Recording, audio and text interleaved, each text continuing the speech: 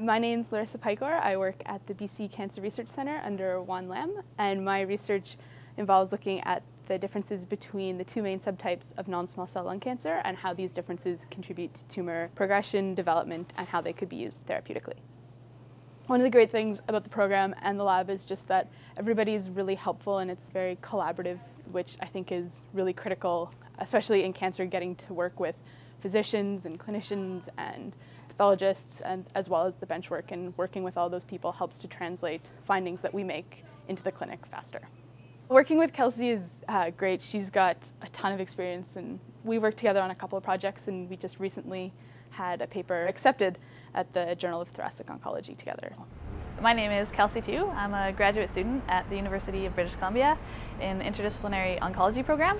My research question is centered around lung cancer in non-smokers.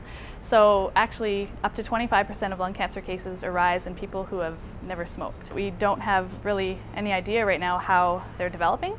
So I'm trying to basically figure out at the genetic level what's going on to make these tumors arise. We get material from uh, tumor specimens from lung cancer patients and we go through the genome and look for DNA alterations that might be responsible for driving uh, the tumors. So I guess the big thing is that right now the two main subtypes of lung cancer are treated the same way as one disease, but there's lots of evidence to show that, I mean, they're different at the cellular level and, as well as the genetic level. And there's more and more evidence coming out now that when you treat these different subtypes with the same drug, they can respond differently and sometimes um, it's a negative effect and you can actually be harming the patient. So they come into the clinic maybe with lung cancer symptoms, but uh, a doctor may not necessarily think it's lung cancer because they don't have the smoking history. So um, it's really important to try and develop early diagnostic tools so we can identify people who are non-smokers that are actually at risk for lung cancer.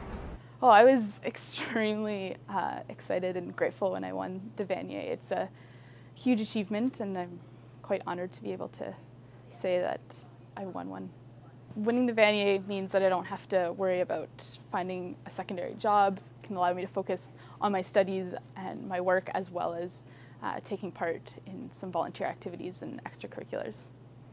There's a award that we have for the BC Lung Tumor Group called the Betty Rice Award, and this is a lady that uh, passed away from lung cancer uh, a few years ago, and she was a non-smoker, and so her family has established um, an award in her honor um, for people doing lung cancer research. So I actually got to meet her family and her husband and her daughter and some of her grandkids, and it was it was really awesome to meet them and, and hear their story. You know, they, they give this award, but they may not necessarily know what the money is going towards. So it was really interesting. We got to sit down with them and kind of present what we had been doing. And I think they're really interested in learning how, you know, what we do and how that can hopefully help people in the future.